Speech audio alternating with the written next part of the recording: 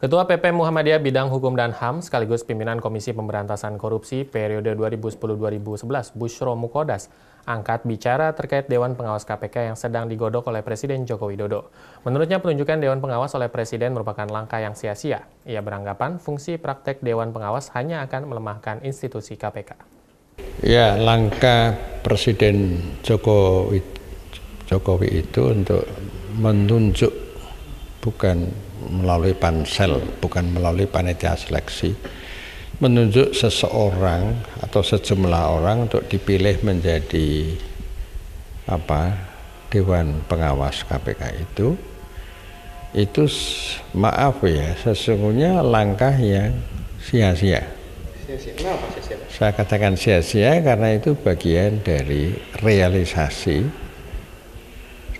uh, struktur baru KPK yang undang-undangnya hasil revisi yang disepakati oleh semua fraksi, semua parpol di DPR yang disetujui oleh Presiden Jokowi di mana semua pihak yang dengan mudah bisa membacanya revisi undang-undang KPK itu adalah pelumpuhan total kepada gerakan pemberantasan korupsi yang selama ini ditulang punggungi dipelopori anak kandung reformasi yaitu KPK.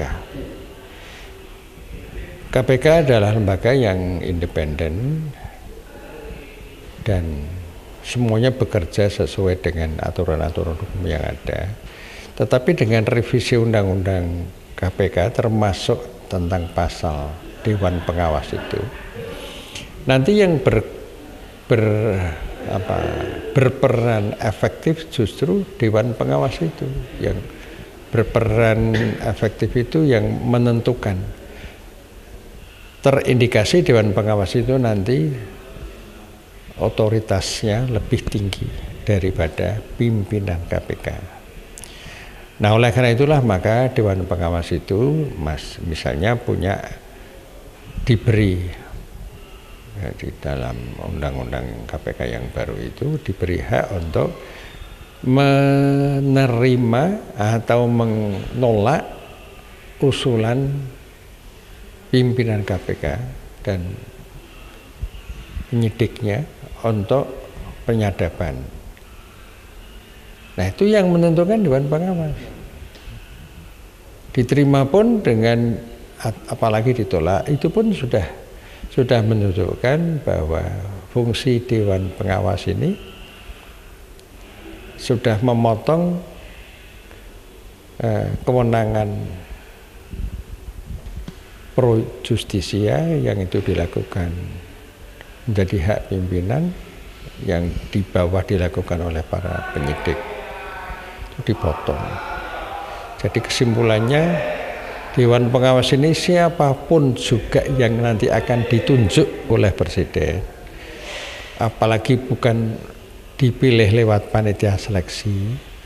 Tetap saja Dewan Pengawas itu merupakan badan baru di dalam organisasi KPK yang itu fungsinya prakteknya nanti memperlemah. Sudah posisi KPK sudah lumpuh sebagai badan penindakan ditambah dengan Dewan Pengawas.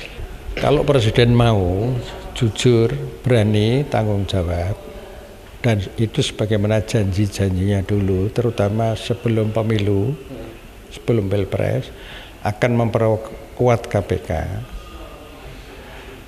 Maka Presiden apa gunanya sudah mengumpulkan kurang lebih 40 tokoh-tokoh masyarakat yang diundang ke istana dulu yang di situ semua tokoh itu mempunyai concern yang sama agar presiden segera mengeluarkan perpu.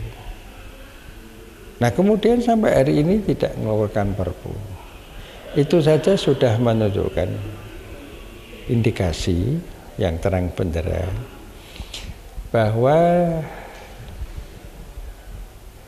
dipertanyakan kejujuran, keberanian dan tanggung jawab presiden untuk memperkuat KPK itu. Memperkuat KPK itu bukan memperkuat KPK ansih, tapi KPK dalam rangka gerakan pemberantasan korupsi yang selama ini itu hasilnya cukup efektif gitu. Satu-satunya lembaga independen. Sekarang kalimat independen sudah nggak ada lagi. Nah, jadi kalau presiden berani bertanggung jawab mengeluarkan perpu yang isinya minimal ditunda dulu undang-undang KPK yang baru nomor 9 tahun 2019 itu.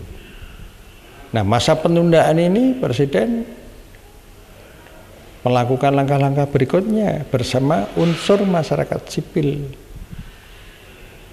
Itu penghormatan demokrasi namanya. Nah, ancaman demokrasi itu ketika di satu negara korupsinya semakin terstruktur, sistemik dan masif.